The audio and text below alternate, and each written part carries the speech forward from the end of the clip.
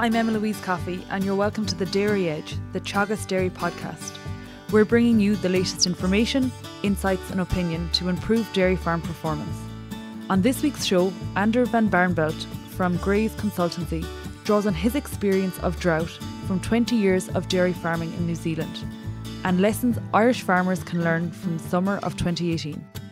In New Zealand, we almost expect to get dry uh, in one region or another. It gets dry almost every year somewhere, you know. So um, people probably farm for a drought in New Zealand much more so. And even if you're you're classed as a summer safe area in New Zealand, you, you you'll experience probably a, a, dry summer, you know, one in three at least. So I guess that's the big difference is the, the mindset and the, and the people over there. Um, yeah, over here people just don't don't farm for the dry, and probably have never experienced a dry period like they have this year. And they? see, in terms of the droughts in New Zealand, how long would they typically last? Well, I remember one year I was working on a farm. We we started irrigating in September and we finished in April, so they can go on for a very long time.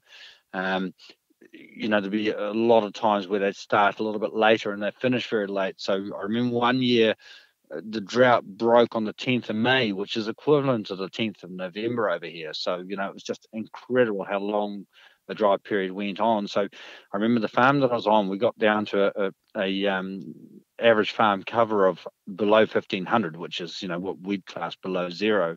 Um, and yet by the 1st of June, our farm cover got up to 2300 so like a farm cover of 800 so in three weeks we went from from almost looking like the road um, to, to a farm cover of 800 kilos of dry matter a hectare average you know so we really it's, it's the one thing you tend to get is, is you do get huge compensatory growth after a dry period it always happened in new zealand where if it went dry for a long time, you'd get growth at some some point. And that's that's the greatest difference in New Zealand is that people are not really concerned so much about what happens for winter feed. Um, generally, the cows either either stay on farm grazing or mostly will go off to another block grazing, and you'll always get enough time to grow enough grass there to winter the cows on. And that's the big difference over here is is you know we're running out of time very very quickly to get enough forage for the winter on hand, and that's that's for me the the greatest difference between the two and countries. I guess I with the droughts, then you know you're saying regionally they can be quite variable, and people aim for the you know there will be a drought one in every three years. But in terms of the severity of droughts, are they increasing on farms? Like, are you seeing a, a bigger effect of drought on farms in New Zealand, say, opposed as opposed to say twenty years ago? No, I don't think so. I think, um, you know, I found mainly through from the mid 80s to the mid 2000s, I suppose, myself. And and through that time, like I said, sometimes we had droughts where where the whole farm would be like like you you'd see the road, you know, like if you drive through the paddocks, it'd just be a cloud of dust. Um, I don't think that's changed very much. It's just that um, maybe the frequency of the droughts is increasing somewhat. The, the biggest problem is New, in New Zealand is if you get a, a, nationwide drought, then it's really, really bad. Generally, New Zealand has such a huge variation of, you know, such a, such a long country, um, going from quite close to the equator to a long way away from the equator, that somewhere there'll be a lot of feed and they can transport feed from one area to another. Um, I don't think that's changed very much really in New Zealand, um, the severity of droughts or the length that they go on. Um, you know, some of the worst droughts that I know probably happened in the in the early 90s, I suppose, and and you know the one that finished on the 10th of May was actually about 2004, I think. And in terms of, um, you say people plan for drought, and you know, in a lot of New Zealand, um, farmers will have irrigation systems so they can negate the effects of drought. But what other steps do the farmers in New Zealand take to reduce the impact of drought? You see, I, I never farmed on a myself on, on irrigated farm before, so I, I farmed on what was classed as summer safe land, but you'd still get summer dries. So we generally grew crops turnips, um, and you know we always planned for for some kind of a dry period, so we grew turnips. But of course, the problem with them was generally that you'd have a fantastic crop when you didn't need them, uh, when you had a good year, and when you had a poor year, that the crop wasn't as good. But um, in the lower North Island was farming, we had we had uh, like competitions to grow the best crops of turnips and all those sorts of things. So, you know, it's very, very common to grow um, summer crops. So we try to grow a, a, a, low dry matter, high protein type crop to negate the the effect of you know very dry grass out there. But you know, when I was farming, that was I found before the time of palm kernel as well. And so basically, we just we just buckle down and ride our way through a drought. The first thing you do is you just get rid of all the passengers, you get rid of all your culls, and you, and you bring your demand down as low as you possibly could on farm. And that was that was rule number one is to is to is to um, bring demand down, and then go through the dry period and hope that it would rain. But generally, you you buckle down and expect it to be dry for you know two or three months really. Um, probably very much like we had this year over here. You know, a real real dry period with a with a really really big deficit. But generally, people would have a crop of turnips or something on hand that they would actually still be able to um, run the cows through.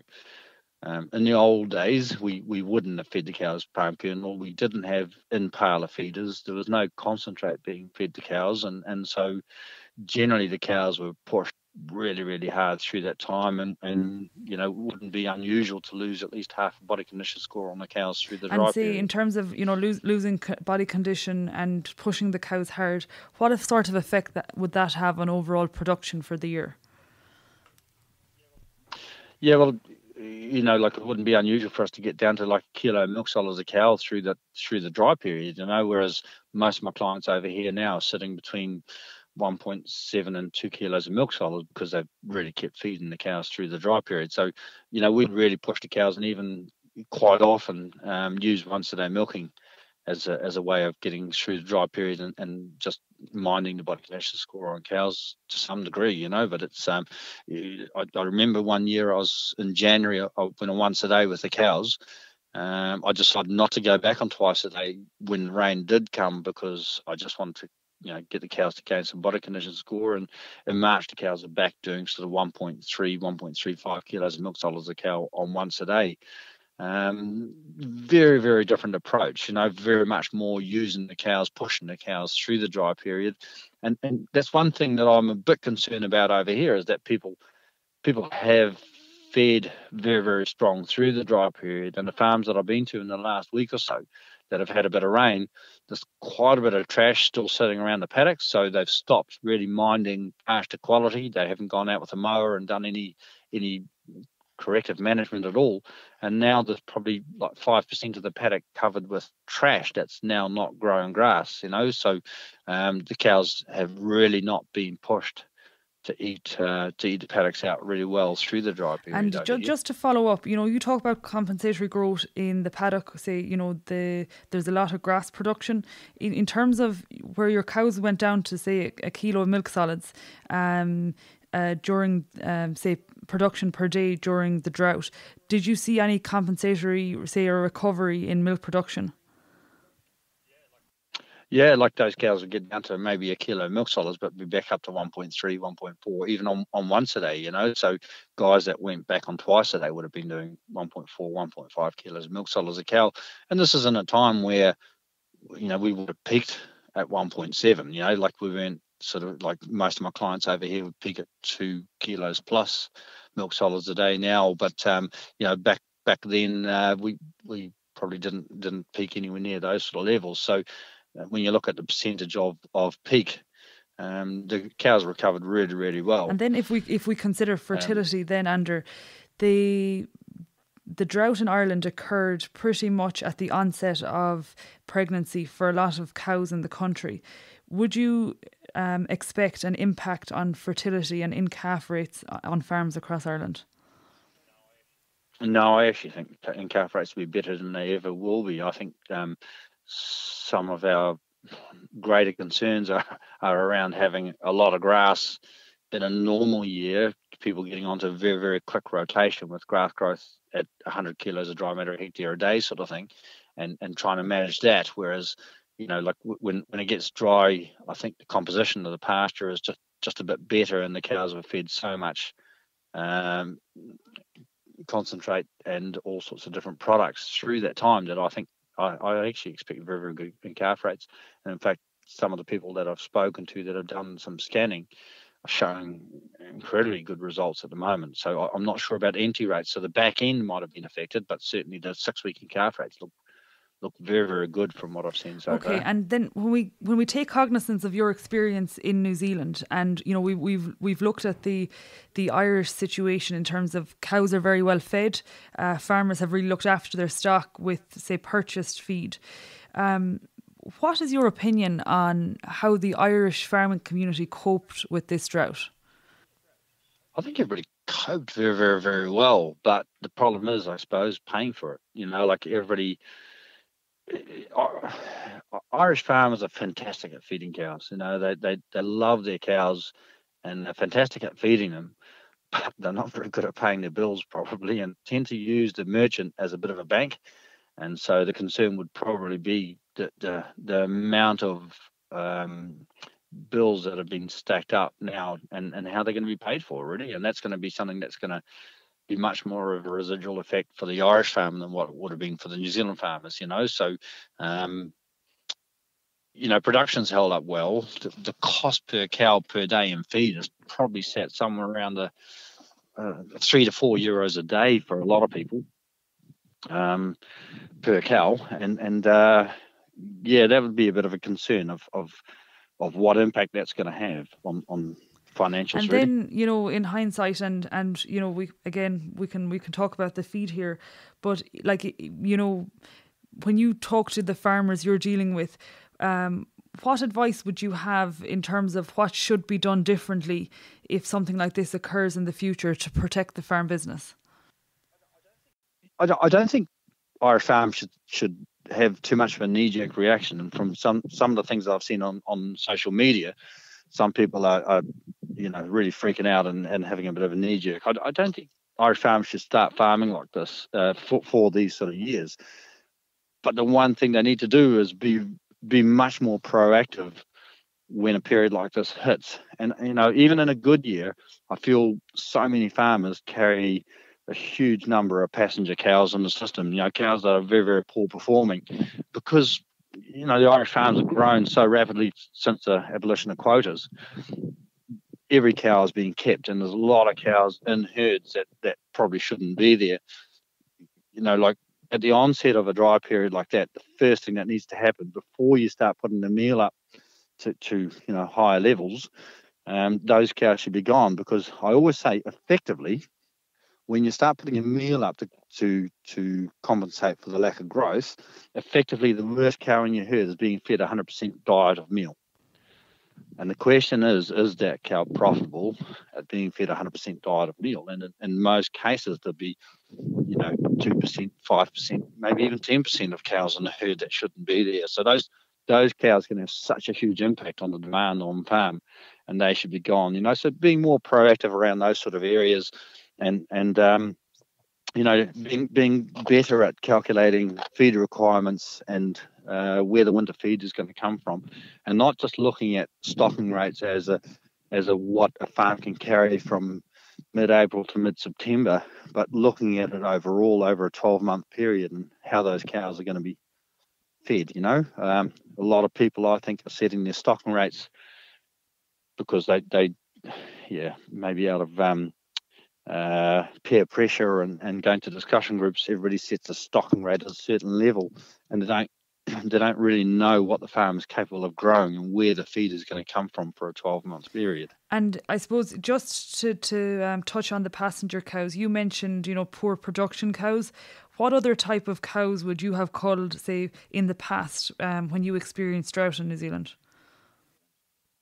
Oh, repeat mastitis, repeat lame cows, um, just you know, I, would never seen a fat cow in 20 years farming. I'd never seen a fat cow because you know people always get to the point where if a cow's putting weight on the back, she's not efficiently putting putting dry matter into milk solids to go into production, so she shouldn't be there. So I'd actually never seen a fat cow for years. Um, but um, you know, problem cows, cows that, that cost money, they they shouldn't. And if we weren't in yeah. a drought year, okay, and we were talking about these type of cows, um, say say you're a dairy farmer, um, you're milking a herd of hundred cows, and you have say five of five cows that fall into that category, so five percent of your herd. At what stage of the year would you consider getting rid of those cows? Would you do it, say, immediately after they calve, or would you, say, hold on to them into the, say, into the lactation? Yeah, I'd be pretty ruthless myself, I suppose, and with my clients, I'd be pretty ruthless that those cows shouldn't exist in the herd. So, you know, they should be gone as you identify them, and you're always better re- to replace them with good cows than to have them in the herd. But um, once you have them in your herd after calving, you've gone through the costly period of carrying them through into, into the spring. So once they calve and the, and they're going pretty well, well then as long as you've got a feed surplus in the system, but you know you can you can carry those cows. But as soon as you get to a point where you run into a feed deficit, or you know your pasture demand exceeds your pasture growth, then those cows they, they, they should be gone. And I suppose finally, then, Andrew, um, if we look at PastureBase Ireland figures, um, there is a lot of recovery occurring across the country, and we're seeing some compensatory growth with, you know, growth rates of say 44 kilos in the last week in the south of Ireland and up to 60 kilos in the north. What advice have you for dairy farmers to get through from now until next spring if we consider there's a fodder shortage on farms? Yeah, the big thing is to be to, to have the finger on the pulse and really do those calculations. You know, look at your stocking rates, um, get rid of passengers, carry, you know, only the cows that are going to be really productive next year through the winter, so that you, you have a lower demand. There, there is no no place on farms to carry culls. I don't believe. You know, like a lot of people fattening culls, they just they, they just don't fit into a system. They have too great an impact on the demand on farm um, and just really look at pushing pushing pasture growth through this this time um, to make sure they take surpluses out efficiently so that they maximise the fodder on hand. And then even in situations like this, um, usually I would look to keep going in the back end. If we have a very good back end where the soil temperatures stay up very well, usually I'll try and get farms closing at around that sort of you know 650 maybe 700 kilos of dry matter a hectare at 20th of November. Um, I would expect that with quite a few clients we'll be dropping that down a little lower and may may close as low as 500 kilos in the hope that the compensation growth will continue through the winter and that will still open with a good cover in the spring you know but it's it's really trying to trying to reduce the amount of winter fodder that's required by reducing the day, the dry days and the, the house days as much as we can. That's great. Thank you, Andrew. No problem. That's it for this week's episode of the Dairy Edge podcast. And my thanks to Andre van Barneveld for joining me on this week's show. Don't forget to subscribe on Apple and Google Podcasts. And for more information, go to the Teagasc website at teagasc.ie. I'm Emma Louise Coffey, and join me next time for your Dairy Edge.